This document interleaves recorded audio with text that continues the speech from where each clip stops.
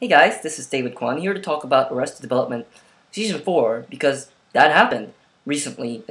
Netflix picked it up after Arrested Development was, was canceled after the end of Season 3.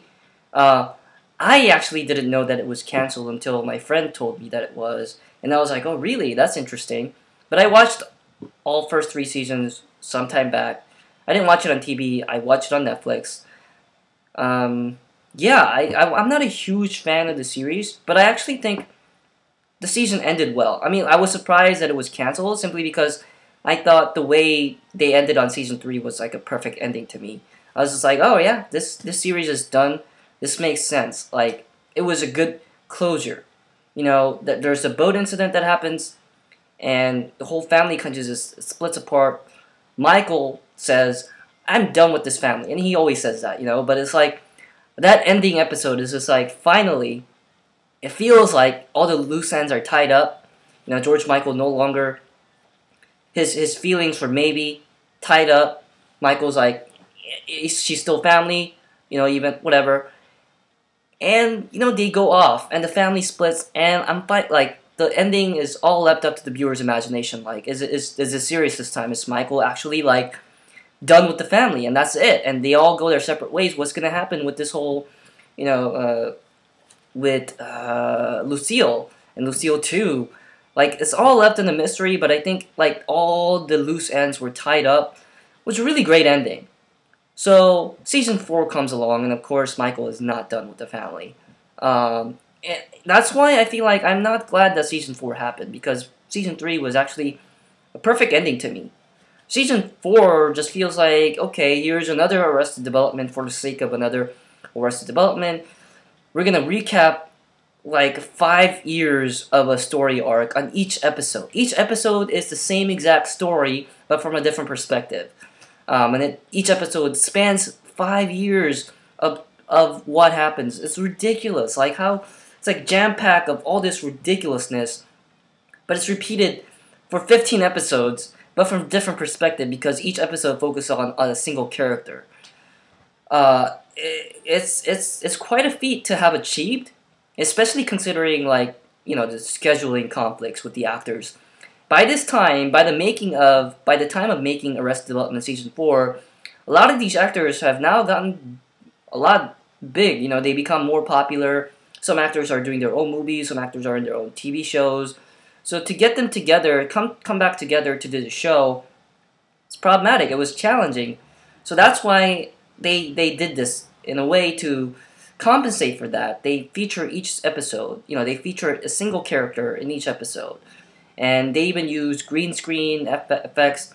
Um, yeah, but like, I think what makes Arrested Development the first three seasons really strong I'm not a huge fan of it. It really took me about eight or nine episodes to start getting into it, to start liking it um, from the first season. But what I really liked was there's this crazy group of narcissistic, uh, naive, stupid, idiotic characters. They come together and they the way they interact with each other, the way they mess things up, um, and you know, and and Michael is like kind of like the moral center or the responsible center, even though Michael has his own problem. Everyone has arrested development. They they're they're not mature enough. They haven't grown up. The the title of the the show totally fits um, the first three seasons. It kind of fits. I, it totally fits the first three seasons. Fourth season, it's like what happens on fourth season is like a hyperbole of what the title is supposed to be. That's what it feels like to me. But I think the, the, the what made Arrested Development work so well was the Bluth family interacting with each other, and shit that happens because of the way their situations get tangled up. And season four kind of continues that, but it focuses on a single character. And that to me is very problematic because I can't relate to any Bluth character by themselves. Um, Michael, I mean, compared to everyone else, when they're in a when he's among the other Bluth, we can actually kind of start to relate to, at least I can, to relate to Michael. I can start to kind of relate to George Michael, uh, you know, at least. But taking the take take each character out of that group and focus on just them, just that one person, it's hard to relate to any one of them. Especially Michael. Turns out you take Michael out, he's the most narcissistic of the bunch. Like he, like wow, really, like I understand, and and I think in that sense, also you you find out you take Michael out of that group. Michael is the one that has the least character development. He just does not grow up. He does not mature. He's the most. He ends up being the most immature character, which makes sense. It makes total sense. Um, but it's, it's just not fun to watch when, when it's like that anymore. Um, I came to actually really like Gob. I, I, I loved seeing how Gob came from this the wedding ceremony. I, this season four had some great moments. Um, the I think Gob's moments were the best. You know, it was genius that the the getaway getaway song came out of Gob's escapades uh, with his entourage um, and his feud with Tony Wonder. I think the best jokes happened to me with Gob, uh, Gob episodes. Everything else kind of seems really su- superfluous and ridiculous because each episode tries to cover five years story arc from a different perspective, and it's like every like by the by the time I got to the thirteenth episode, it's like okay, fine, what's gonna happen? Like we know these this character is gonna meet this one other Bluth character at this event, and then at, we're going to go to the boat scene. We're going to get to this scene because it's the same story but from a different perspective. Um, that was that, it. Kind of got boring. Like the jokes took so long to build up. Like you know, this, I guess it's kind of clever the way they linked all the episodes together. So it, it's a very cohesive project. The way they would, the way it was written, I think that's pretty cool. Um, but like like I said, the joke build-up is so long. It's like, you know, the build-up happens, starts happening in episode 3. Episode 4 is about something else. Episode 5 is from a different character. And then finally, episode 6, this joke that happened in episode 3, boom, punchline happens. Finally, it's a joke that was building up. It builds up three episodes, there's the joke. And it's not that funny because we had to wait through two episodes. It's not I don't think all jokes should be like an instantaneous build up, but when the build up is that long, you kind of expect the payoff to be huge, but it's not. The the payoff just made me kind of chuckle a bit, or sometimes just go, huh, okay, but it didn't make me LOL, laugh out loud, you know. That was really a big problem here. So yeah, I, I don't know. I, I really didn't see a, a good reason for this to have been made other than like fans clamoring for another Arrested Development. And, you know, I don't know. I, I, I really didn't dig it all that much. I'm, I'm not that excited that it happened. I really think that this, this show should have been just left alone as season 3 if it was going to be made this way. One thing I did was I, I was surprised at some of the story arcs that happened. I particularly liked George Michael's story arc.